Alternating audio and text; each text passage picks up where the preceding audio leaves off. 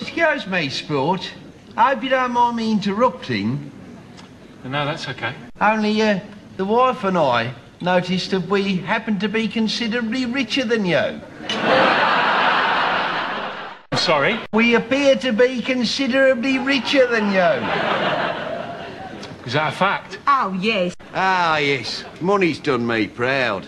I mean, just look at me wife. I mean, nothing dowdy about my Pammy, is there? No offence, pet. My Pammy's as pretty as a picture. Oh, Stanley. It's true! Do you know, she's as beautiful as the day I married her. And I'll tell you for why.